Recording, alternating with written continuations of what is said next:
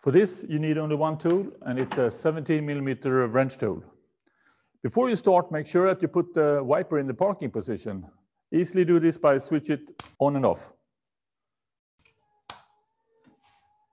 So now we are sure it's in the parking position, we turn off the power for safety reason.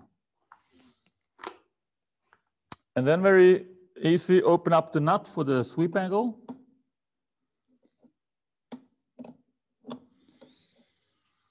And then you can uh, increase or decrease the sweep angle by just grabbing the arm like this.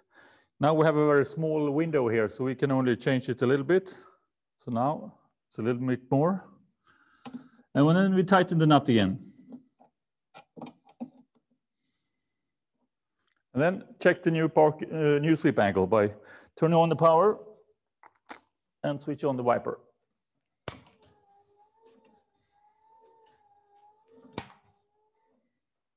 And that's it.